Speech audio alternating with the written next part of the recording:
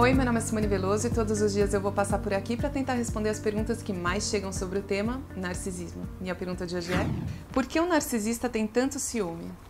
Na verdade, quando a, a, narcisista expressa isso como sendo ciúme, uh, muitas vezes isso aparece como sendo uma coisa fofa, como sendo uma coisa de zelo, como se ele tivesse algum tipo de conexão com a pessoa. Uh, e a vítima fica muito confusa e ela acredita que tudo que ele está fazendo é porque ele sente um ciúme, porque ele gosta dessa pessoa, o que não é verdade. Narcisistas entendem as suas vítimas como sendo propriedades, né? É claro que a forma de colocar isso tem que ser convincente para a vítima.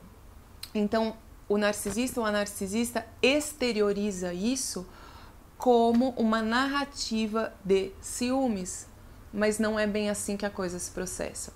Narcisista entende como o mundo sendo a partir dele, né? Então tudo gira em torno dele.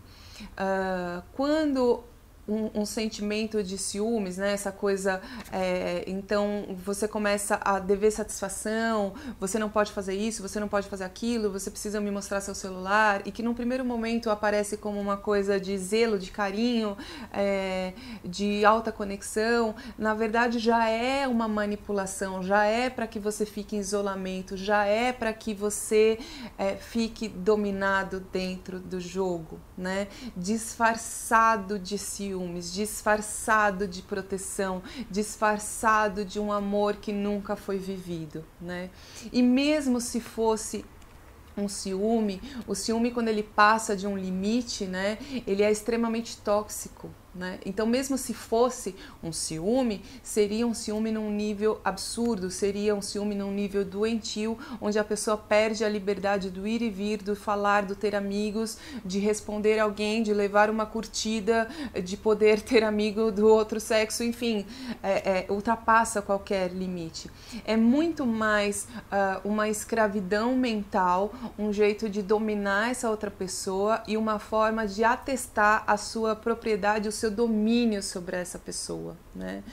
E disfarçado, envolvido, colocado sobre um papel e um laço, como se fosse emoldurado, como se fosse proteção, como se fosse um grande amor, como se fosse um ciúme, porque existe uma conexão muito forte, o que absolutamente não é verdade. Existe o sim, sim o senso de propriedade, mas uh, e neste, neste senso de propriedade, aí sim o territorialismo, uh, mas não um, um, um, ciúme atrelado ao zelo, e isso é completamente diferente. Então a pessoa precisa ter essa, essa percepção até que ponto vai o carinho e o zelo, e isso não existe numa relação com o narcisista.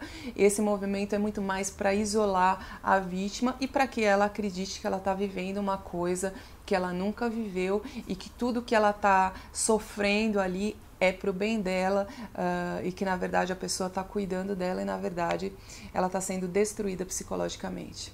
Eu espero ter ajudado. Um grande beijo e vai ficar tudo bem.